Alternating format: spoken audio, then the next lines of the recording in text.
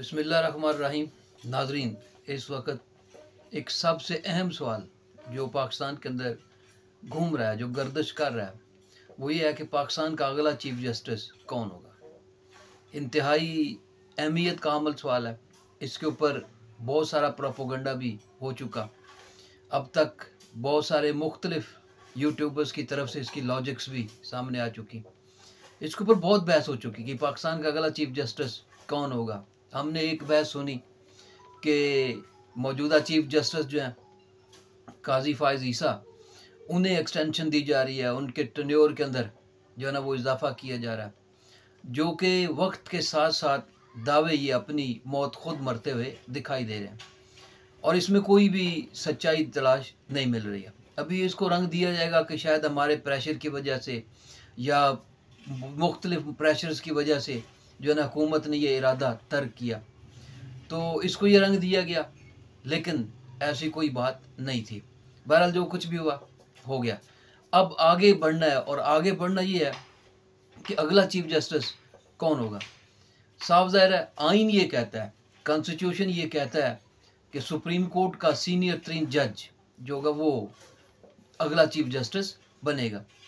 उसके हिसाब से जस्टिस मंसूर अली शाह साहब अगले सीनियर तीन जज हैं और वही चीफ जस्टिस होने चाहिए। इसके वाले से मुख्तलिफ़ चहमगोइयाँ पाई जाती हैं, मुख्तलिफ़ बातें गर्दश कर रही हैं।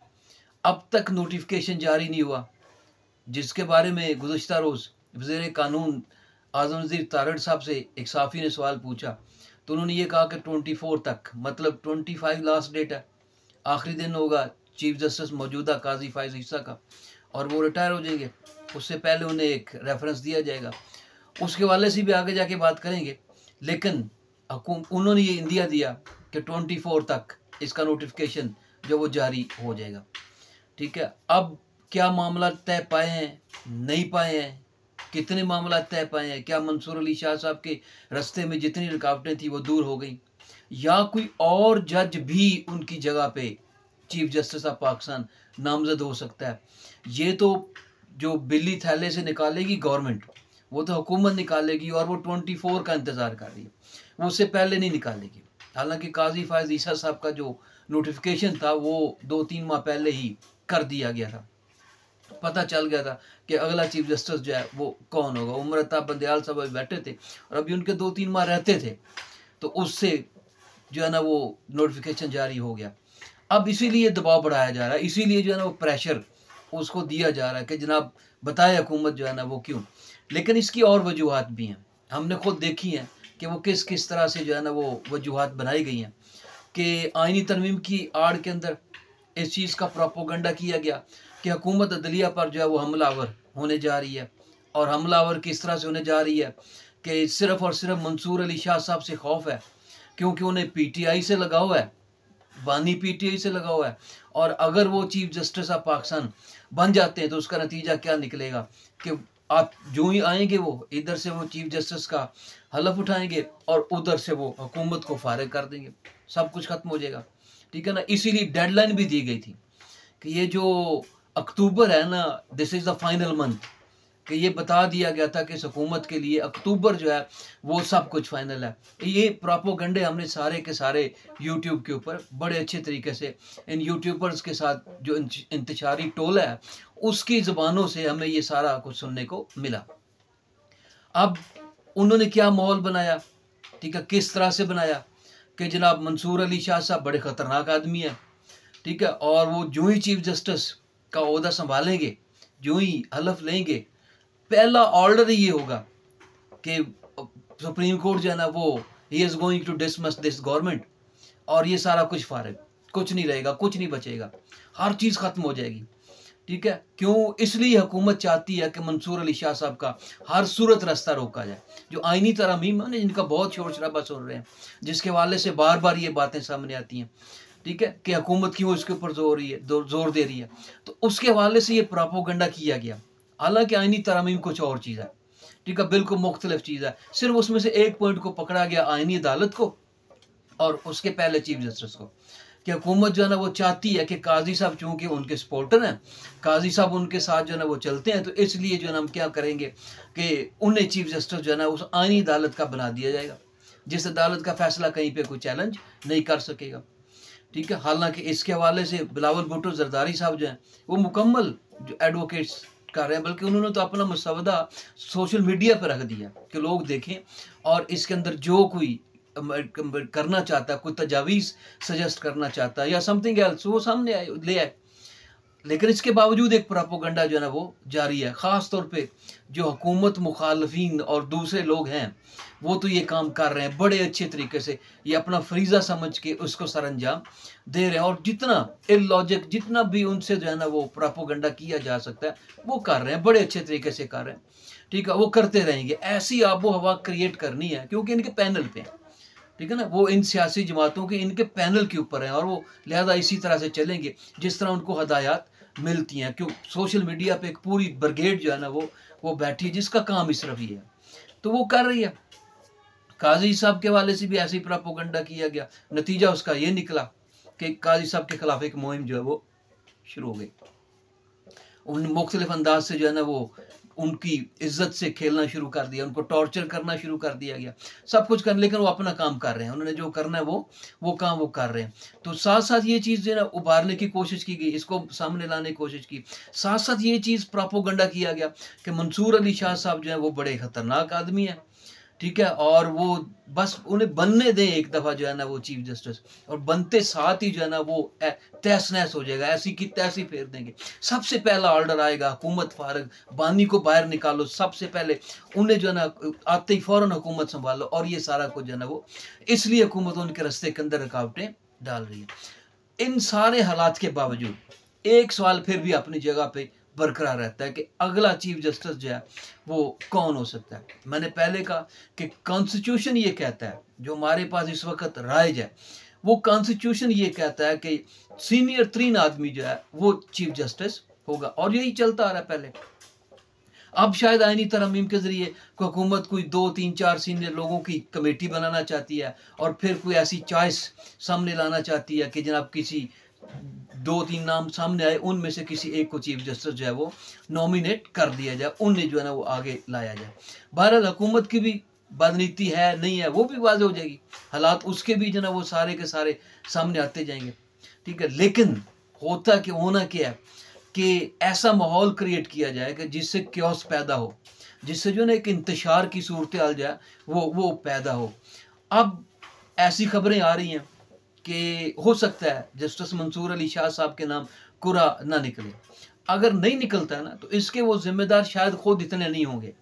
वो प्रोपोगंडा मशीनरी होगी जो आज से पिछले तीन माह से मुसलसल लगी हुई है।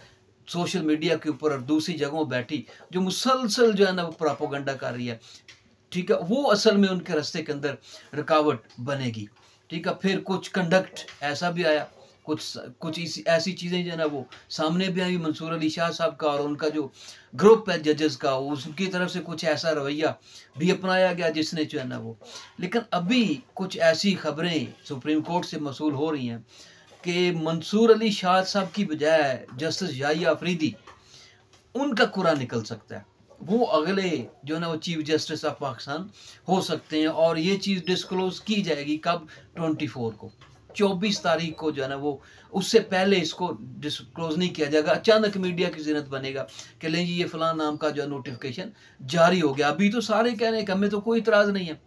पीपीपी भी कह रही है नून लीग भी कह रही है, दूसरी जमातें भी कह रही हैं कि हमें मंसूर अली शाह साहब के नाम के ऊपर कोई इतराज़ नहीं। लेकिन अंदर खाते तो ये गेम चल रही है। ठीक है, वो अगर तो वो गेम डील हो जाती है फाइनल फिर तो साफ़ ज़ाहिर है, मंसूर अली शाह साहब को कोई भी रद्द नहीं करेगा। लेकिन आपका अपना कंडक्ट भी कुछ मैटर करता है। ठीक है आपके अपने जो आपने जिस तरह से मामले किए होते हैं, वो भी सारे के सारे मैटर करते हैं। तो ये रास्ते में रुकावट बन सकती है और जस्टिस जाहिया अफरीदी ने अभी तक ऐसा कंडक्ट रखा है कि वो बेहतरीन चॉइस हो सकते हैं। तो इसलिए अगला चीफ जस्टिस असल में दो लोग, मंसूर अली शाह और जस्टिस जाहिया अफरीदी। हुकूमत इनमें से किसी एक बंदे को, और जहाँ तक हमारे पास खबर है, वो यही है कि मंसूर अली शाह नहीं, बल्कि जस्टिस जाई अफरीदी जो है वो वो बाजी लेते हुए दिखाई दे रहे हैं। इसके साथ साथ, जस्टिस का तो फैसला होना है। अब एक जो है ना, वो फुल कोर्ट रेफरेंस काजी साहब के एतजाज में दिया जाएगा, जब वो रिटायर होंगे। उसकी तैयारियाँ भी अरूज पर हैं। ठीक है, जहाँ पे रेफरेंस की तैयारियाँ अरूज पर हैं, उसी के साथ साथ एक गेम जो है ना, वो शुरू की गई है। और वो भी अपने पूरे अरूज के ऊपर है। वो क्या है? ठीक है? एतजाज एहसन साहब ने इसकी खबर दी। इसी तरह कुछ दूसरे जराए जो है ना, वो भी खबरें दे रहे हैं कि काजी साहब को कोशिश की जाएगी कि इस आखिरी रेफरेंस के अंदर भी उनको जितना, उनकी तजरील की जा सके या उनको जितना जो है ना, वो डिग्रेड किया जा सके, वो करें। और ये काम करेंगे पीटीआई के वकला।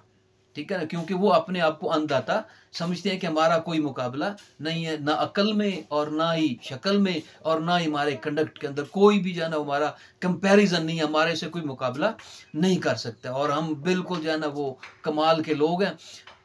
अला दर्जे पे फायज हैं और हमारे से बड़ा जो है ना वो कोई नहीं है। वो प्लान मुकम्मल हो चुका है कि उनको दरवाजे पे रोका जाएगा। ठीक है? अल्लाह गुल्ला किया जाएगा। साफ़ ज़ाहिर साथ ही जो सोशल मीडिया पर बैठी ब्रिगेड है, वो अपना काम शुरू कर देगी। उसी वक्त जो है ना, वो फ़ौरन से वीडियोस बनना शुरू हो जाएँगी, फ़ौरन से वी लोग बनना शुरू हो जाएँगे और सारा मामला जो वो सामने आना शुरू हो जाएगा। तो जो उनका लास्ट रेफरेंस है, उसको भी मुतनाज़ा बनाने की भरपूर जद्दोजहद है। वो वो वो तैयारी जारी है। जद्दोजहद नहीं, बल्कि तैयारी जारी है। और अपने रूच पूरी प्लानिंग हो चुकी है कि किस तरह से काजी साहब आएँगे, किस तरह से उनके रास्ते के अंदर जो है ना वो सारा कुछ रुकावटें डाल ली जाएँगी, किस तरह से उनको डिग्रेड करने की कोशिश की जाएगी। तो ये सारा प्रोसेस जो है ना वो भी अपनी जगह पे जारी है। देखना ही है, जीत किसकी होती है? साफ़ ज़ाहिर है, दूसरी तरफ़ दूसरे हलकों को भी ये खबरें मिल रही हैं। अगर मेरे जैसे शख्स को मिल सकती हैं तो साफ़ ज़ाहिर है, जो रेफरेंस का इंतज़ाम कर रहे हैं, उन्हें भी इस चीज़ की खबरें मिल रही होंगी, एजेंसियाँ मौजूद हैं। ठीक है, वो सारे लोग भी जानते हैं कि किस तरह से जो है ना ये सारी चीज़ मैनेज हो सकती है। तो काजी साहब के ऊपर आखिरी बार वहाँ पर भी करने के लिए तैयारी की जा रही क्योंकि सिर्फ़ इसलिए कि उन्होंने बड़ा सपोर्ट किया हुकूमत को। हर फैसला जो है वो वो इनके हक के अंदर दिया। ठीक है, जबकि हमारे पास ऐसी खबरें भी हैं कि जो बरतानिया के अंदर बैठा हुआ गोल्ड स्मिथ जो ख़ानदान है ना, वो इस वक्त इमरान खान की की जान और उनके हवाले से बड़ा परेशान है। उनको किस तरह से यहाँ से निकालना है, वो बहुत परेशान है। ठीक है? वो भी प्लानिंग कर रहे हैं, किस तरह से वकला की टीम बनाई जाए, जो यहाँ से जाए और वहाँ जाके केस लड़े और पाकिस्तान की अदलिया की तहस नहस फेर दे और बानी साहब को निकलाए, निकाल, निकलवाए वहाँ से और वहाँ से वो उड़े और बरतानिया पहुँच जाए। ये तैयारियाँ भी हो रही हैं।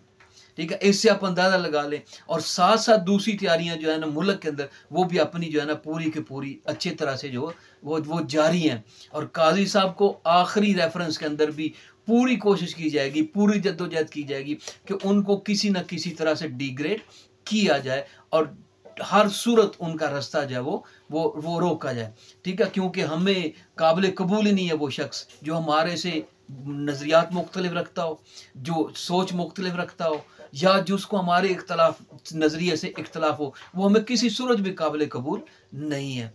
तो इस लिहाज से आप खुद समझ सकते हैं कि क्या तैयारियाँ हो रही होंगी और उस दिन, जिस दिन रेफरेंस होगा, उस दिन फिर से फटा डालने की पूरी कोशिश की जाएगी और उसकी तैयारियाँ मुकम्मल हैं।